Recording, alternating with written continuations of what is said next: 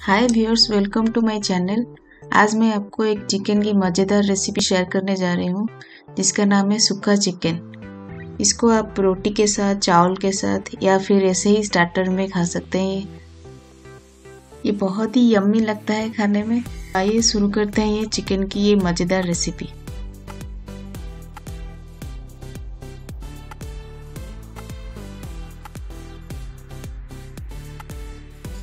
पहले यहाँ पे चिकन को मैरिनेट करते हैं। यहाँ पे मैं 750 ग्राम चिकन ली हूँ। इसमें दो चम्मच विनेगर डालेंगे। नहीं तो आप नींबू का रस भी डाल सकते हैं। एक चम्मच हल्दी।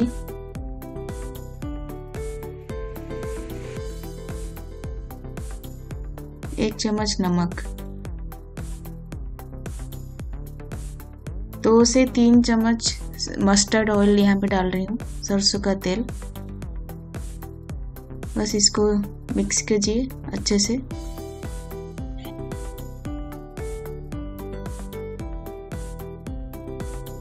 इसको ऐसे मिक्स करने के बाद आप उसको मिनिमम आधा घंटे के लिए ऐसे मैरिनेट करके छोड़ दीजिए। नहीं तो दो घंटे के लिए फ्रीज में ऐसे रख दीजिए। कवर करके इसको फ्रीज में रख दीजिए। यहाँ पे कढ़ाई में दो से ढाई टेबल स्पून मस्टर्ड ऑयल ली हूँ।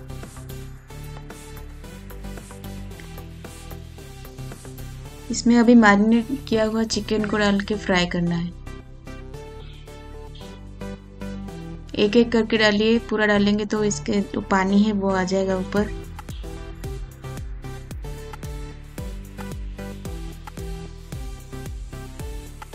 ये देखिए, मैं सारा चिकन यहाँ पे डाल दी। अब इसको हाई फ्लेम में फ्राई करेंगे, ताकि उसका जो सारा पानी है वो चला जाएगा।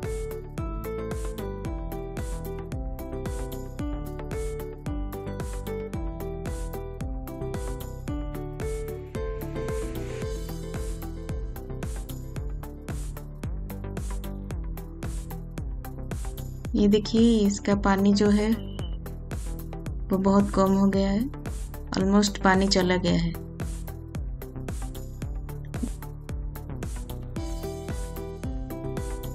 चिकन ये देखिए, यहाँ पे चिकन को पानी चला गया है। अभी इसको प्लेट में निकाल देंगे।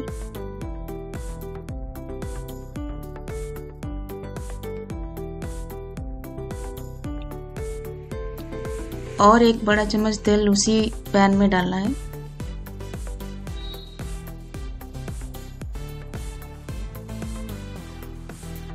यहाँ पे थोड़ा तेज पत्ता, थोड़ा दालचीनी और थोड़ा इलायची को थोड़ा सा ऐसे ही गरम करेंगे इसके बाद इसमें एक चम्मच जीरा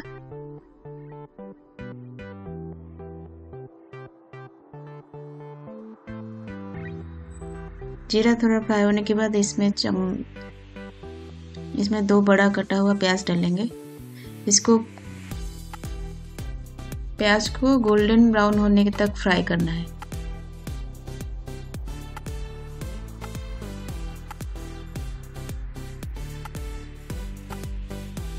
ये देखिए प्याज का कलर चेंज हो गया। है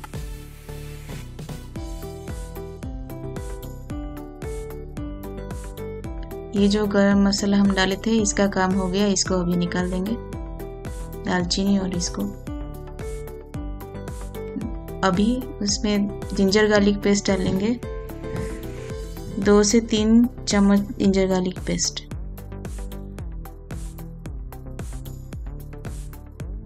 थोड़ा सा मिक्स करेंगे।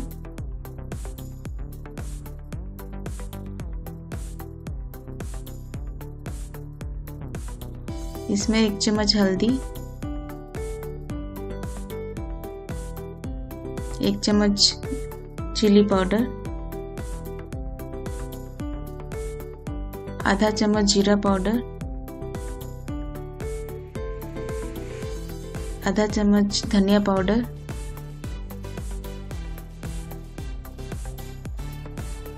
और एक चम्मच चिकन मसाला।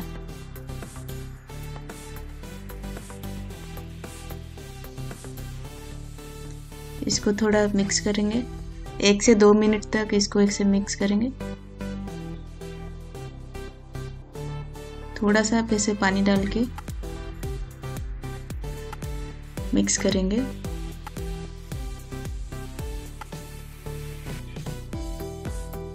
फिर कवर करके उसको थोड़ा तीन से चार मिनट तक कुक करेंगे।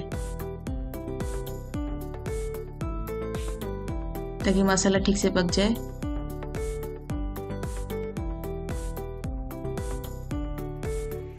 ये देखिए, मसाला तेल छोड़ दिया है। ये हो गया है। मसाला हो गया अभी।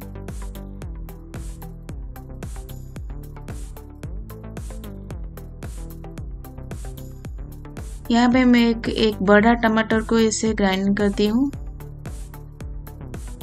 अभी इसमें डाल देंगे मसाले में। थोड़ा सा नमक टमाटर पकने के लिए। अभी थोड़ा मिक्स करेंगे इसको।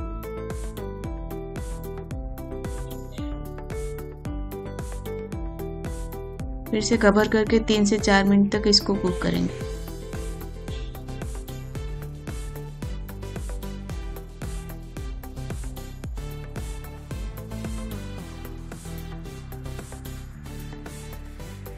चार मिनट के बाद ये देखिए मसाला अच्छे से कुक हो गया है।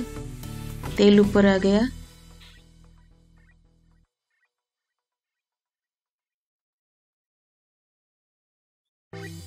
अभी जो फ्राई किया हुआ चिकन इसमें डालेंगे।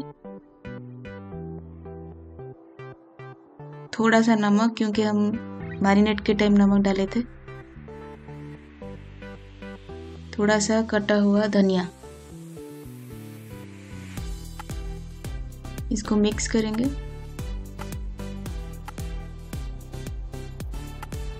ताकि ये अच्छे से मसाले के साथ मिक्स हो जाए।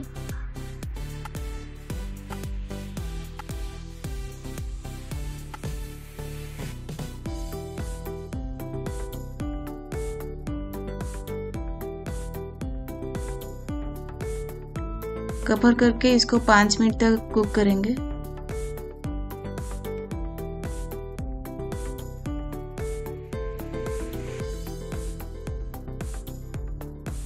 बीच बीच में इसको ऐसे मिक्स करना है, क्योंकि नहीं तो लग जाएगा मसाला। इसको ज़्यादा पाँच मिनट से ज़्यादा कुक नहीं करना है, क्योंकि इसको पहले से ही चिकन में फ्राई करके रखी थी।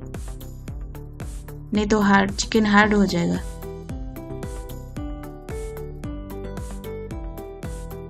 ये देखिए, पाँच मिनट हो गया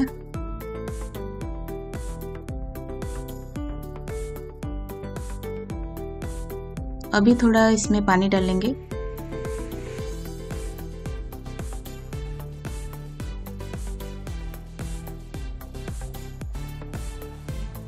एक कप से थोड़ा कम पानी डालना है।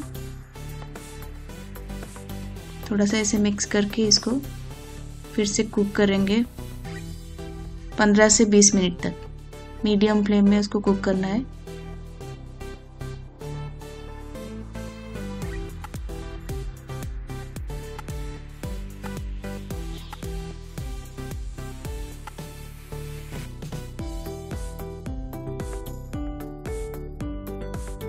चिकन जो है अच्छे से कुक हो गया है। लेकिन हमें ये सूखा चिकन बना रहे हैं तो ये ग्रेवी को पूरा सूखा करना होगा। इसीलिए फ्लेम को पूरा हाई करके अभी उसको ऐसे ही बिना कवर के कुक करना है। ये देखिए, पूरा ग्रेवी जो है, पूरा थिक हो गया है। परफेक्ट कंसिस्टेंसी हो गया।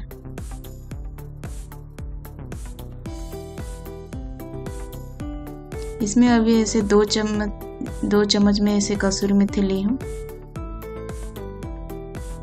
इसको डाल के थोड़ा सा मिक्स करेंगे।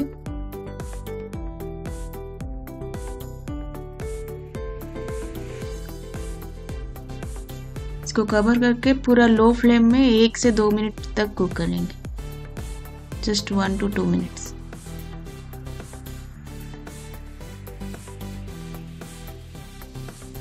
बस। इसका जो फ्लेवर है, इस चिकन में आ गया। बहुत ही अच्छा अरोमा है इसका।